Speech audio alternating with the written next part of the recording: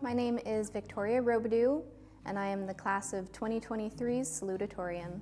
I went to a vocational high school, and so I am a licensed cosmetologist. I went through the cosmetology program.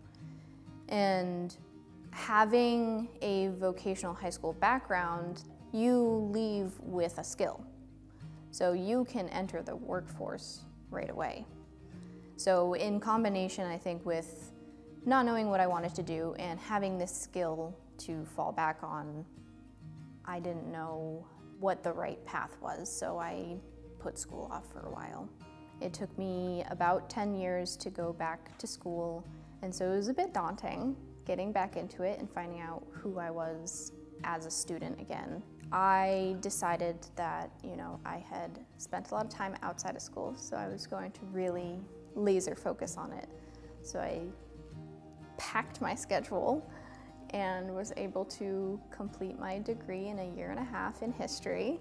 I started at Bristol fully online. I started as a biology major and I wanted to go into horticulture.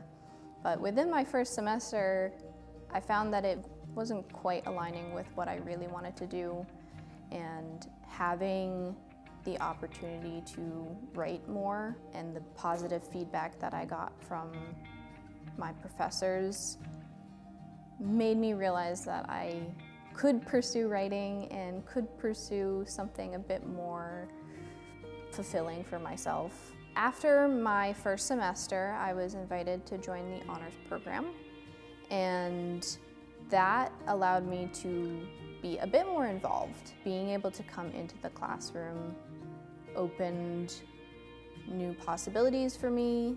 Uh, I felt more involved in my classwork.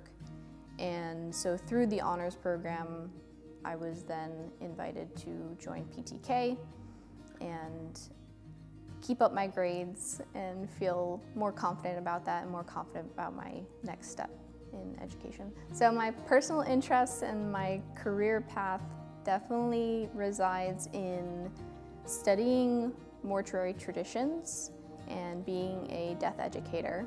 So last semester I founded the Mortals Club here at Bristol and as the acting president I have been recruiting members to have what's viewed as taboo conversations to explore our ideas about death and our anxieties and how we can be more connected as a community through it. After Bristol, I plan on getting a bachelor's degree in anthropology and work my way up to a PhD and just continue on in that field. It's just the most exciting, interesting thing to me. I'm Victoria Robidoux, class of 2023 salutatorian, and you can make it happen at Bristol Community College.